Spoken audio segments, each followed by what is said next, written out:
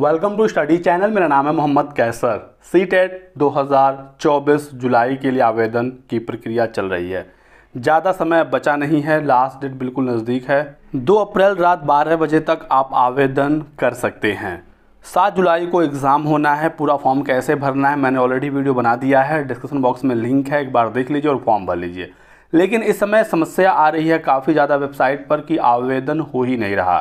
तो मैं आपको बताऊँगा क्या क्या समस्या है और कैसे आप आवेदन कर सकती हैं। यहाँ पर आपको क्लिक करना है अप्लाई फॉर सीटेड जुलाई 2024 ठीक है? क्लिक करते ही वाला पेज आएगा। यदि आपने अभी तक रजिस्ट्रेशन नहीं किया है तो आप न्यू रजिस्ट्रेशन पर क्लिक करके अपना रजिस्ट्रेशन कर सकते हैं। जिन्होंने ऑलरेडी रजिस्ट्रेशन कर दिया है, अपने फॉर्म को कंप्लीट करना है तो अपने डिटेल्स के साथ आप यहाँ पर लॉगिन होंगे। अब समस्या ये आ रही है कि लॉगिन करते समय सेशन टाइम आउट हो जाता है या कई बार लॉगिन होने के बाद कोई भी डेटा आप फिल करते हैं तो इस प्रकार का ही एरर मैसेज आ रहा है।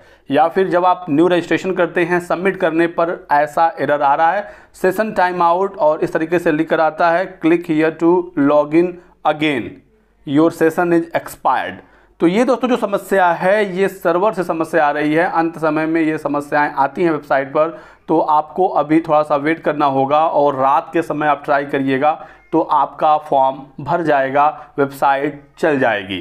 यदि ये समस्या लगातार एक दो दिन और रहा तो फिर लास्ट डेट को निश्चित रूप से बढ़ाया जाएगा। आप लोग परेशान मत होइए। बाकी आप कोशिश करते रहिए, जैसे वेबसाइट ठीक होगी, मैं अपने टेलीग्राम चैनल पर आपको बता दूँगा तो आप तुरंत ही फॉर्म भर लीजिएगा।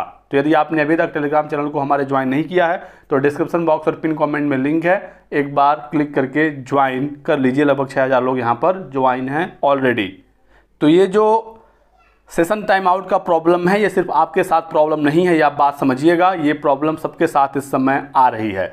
लेकिन इसके अलावा एक और दिक्कत आती है सीटेट के फॉर्म में, वो हमेशा से रहा है, चाहे आप पहले दिन फॉर्म भरिए लास्ट दिन फॉर्म भरिए, ठीक है? और उसका ट्रिक भी मेरे पास है, मैं आपको बता दूँ कि यदि ये वाली समस्या आ रही है तो आपको क्या करना है? देखिए लॉगिन करते समय कभी भी, किसी भी स्टेज पर यदि ये वाली दिक्कत आ रही हो डुप्लीकेट सेशन का, ठीक है? टाइम आउट आ रहा है, तब तो वो सर्वर की दिक्कत है। लेकिन यदि डुप्लीकेट सेशन वाली प्रॉब्लम आ रही है, ठीक है?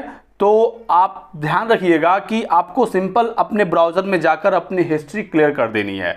ये प्रॉब्लम तुरंत ही समाप्त हो जाएगा।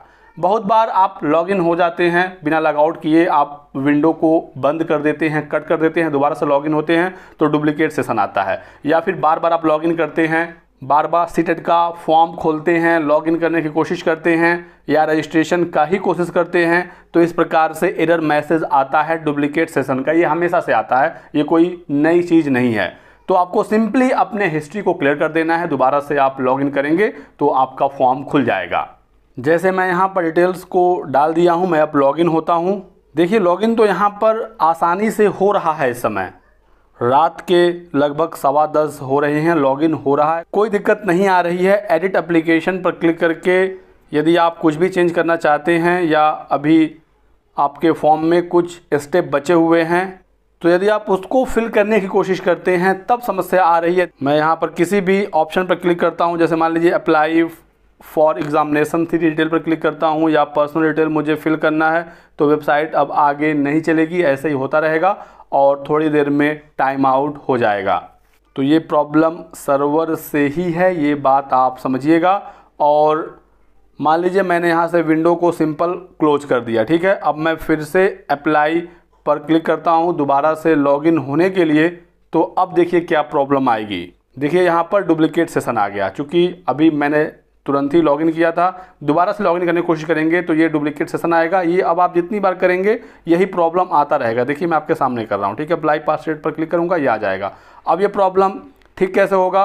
तो आपको अपना सिंपली हिस्ट्री क्लियर कर देना है। यहाँ पर मैं क्लियर हिस्ट्री कर देता हूँ और इसके बाद तुरंत फिर मैं देखिए अप्लाई फॉर सीटर पर क्लिक करता हूँ तो ये तुरंत लॉगिन वाला ऑप्शन या न्यू रजिस्ट्रेशन का ऑप्शन आ जाएगा।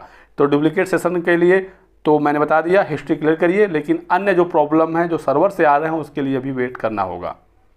तो ये मत समझिएगा कि ये प्रॉब्लम सिर्फ़ आपके साथ है, ये प्रॉब्लम सबके साथ है। मेरे पास देखिए, बहुत बढ़िया स्पीड का इंटरनेट कनेक्शन है। मैं आपको दिखा भी दूँ, ये मैं आपको स्पीड टेस्ट करके दिखा देता हूँ कि कितना अच्छा कनेक्शन होने के बावजूद जब वेबसाइट नहीं चल रहा है मुझसे तो फिर यदि आपके पास नॉर्मल कनेक्शन होगा तो बताइए कैसे चलेगा ठीक है? ये लाइव देखिए दस बज के उन्नीस मिनट हो रहा है और मैं आपके सामने अपना कनेक्शन चेक करवा रहा हूँ कि स्पीड कितनी आ रही है ठीक? कनेक्ट हो गया है और देखिए स्पीड 200, 250, 300 लगभग यहाँ पर स्पीड आ रहा है 300 सौ अभी मैं अपने रूम के अंदर डोर लॉक करके अंदर बैठा हूँ तो ये कंडीशन है ठीक है? नहीं तो पाँच पाँच सौ एम तक स्पीड हमारे यहाँ आता है ठीक है? ये देखिए फाइनल कितना आया?